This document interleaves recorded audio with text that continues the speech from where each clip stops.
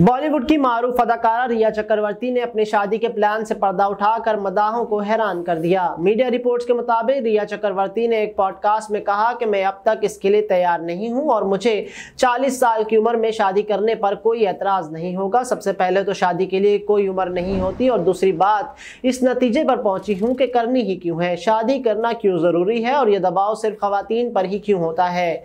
मेरी मुतद सहेलियों ने चालीस की उम्र में शादी की और इनके बच्चे हुए। पॉडकास्ट में बॉलीवुड अदाकारा ने वाजे किया कि वो करियर में मजीद आगे जाना चाहती हैं और फ़िलहाल इनका शादी का कोई इरादा नहीं है। इन्होंने अपनी सहेलियों की अजदवाजी ज़िंदगी के बारे में कहा कि मेरी ऐसी बहुत सी सहेलियाँ हैं जिन्होंने 20 और 30 साल की उम्र में घर बसा लिए, लेकिन जब मैंने मुशाहिदा किया तो मालूम हुआ कि जिनकी शादी 30 या 40 की उम्र में हुई वो बिल्कुल ठीक है। रिया चक्रवर्ती ने कहा कि मैं इस वक्त बत्तीस साल की हूँ, लेकिन अब तक खुद को शादी के लिए तैयार नहीं समझती। थी क्योंकि मुझे अभी करियर में बहुत कुछ करना है। बॉलीवुड अदाकारा का कहना था कि मैं पासपोर्ट के लिए तो जा सकती हूँ, लेकिन सिर्फ़ इस बात के लिए अदालत नहीं जा सकती कि मैं किससे प्यार करूँ। अगर आप अपनी ज़िंदगी में इस मकाम पर हैं जहाँ आप तरक्की कर रहे हैं तो मुझे नहीं लगता कि किसी की बीवी बनना ठीक है।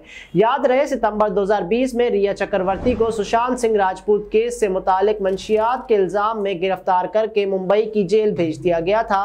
अदाकारा पर अनजानी अदाकार को मंशियात की खरीदारी और सप्लाई करने का इल्ज़ाम था। सुशांत सिंह राजपूत जून 2020 में मुंबई में अपने बांद्रा अपार्टमेंट में मुर्दा पाए गए थे।